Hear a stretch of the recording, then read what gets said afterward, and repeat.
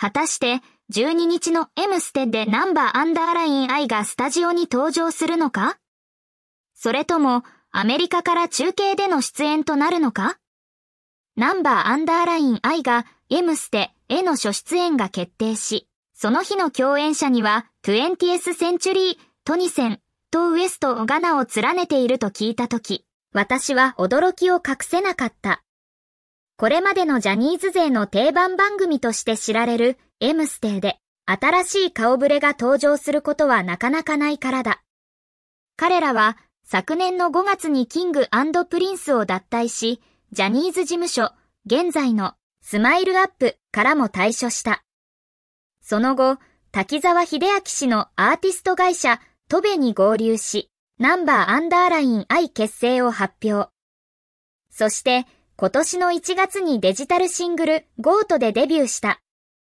私はナンバーアンダーライン I の活動に注目していた。彼らは地上波テレビでの露出も増え、3月には With Music で GOAT を初歌唱し、CDTV ライブ。ライブではトラビスジャパンと共演した。その勢いの中、M ステへの出演が決まったのだ。だが、これには何か隠された意図があるのではないかという声も上がっている。井ノ原義彦がスマイルアップの元副社長であり、現在はスタートの取締役 CEO、チーフコンプライアンスオフィサーという立場であることから、一部のファンは彼らの出演に疑問を持っているようだ。ネット上ではなぜ副社長たちと一緒なの？何か事務所の企みがあるとしか思えないといった声が上がっている。彼らの出演が事務所の戦略的な動きに絡んでいる可能性があるのだろうか？それとも単にファンの推測に過ぎないのか？また、一部のファンは、ナンバーアンダーライン愛の出演と同じ日に井ノ原主演のドラマ、特捜9の主題歌を歌うトニセンの出演にも疑問符をつけている。彼らは、トニセンが現在活動しておらず、ヒット曲もないと指摘している。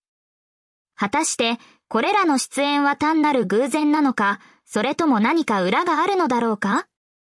一方で、ナンバーアンダーライン I の M ステ、出演にはさらなる興味深い噂もある。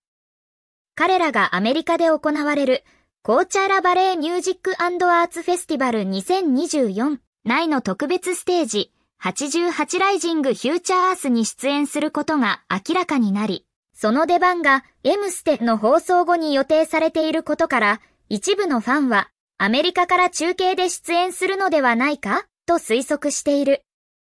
公式の告知動画には、初出し秘話満載、ロケ企画も、といった言葉があり、ファンの間ではこのロケ企画が何を意味するのかについて様々な憶測が飛び交っている。果たして、ナンバーアンダーライン I は本当にアメリカから中継で出演するのだろうか？それとも単なる噂に過ぎないのか？私自身も12日の M ステンの放送を楽しみにしている。果たして彼らがスタジオに揃うことがあるのか、それともアメリカから中継での出演になるのか、興味津踊り地である。新しい地図を切り開く彼らの未来に期待が高まる。 Number underline I、その名を知らぬ者はいないだろう。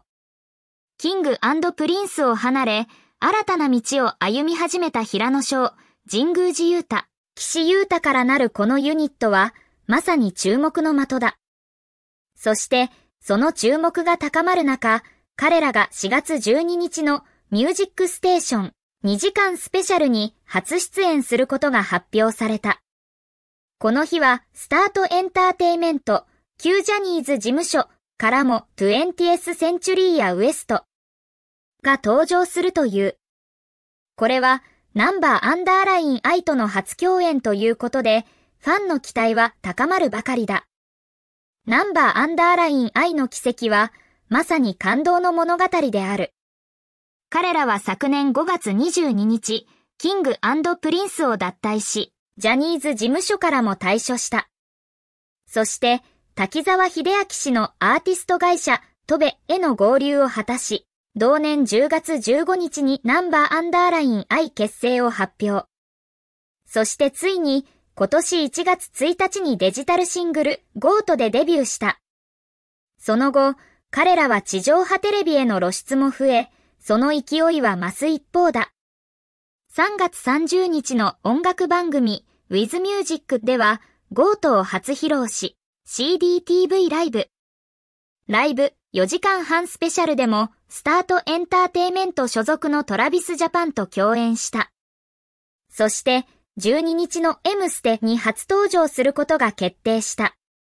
しかし、この出演には興味深い論議が巻き起こっている。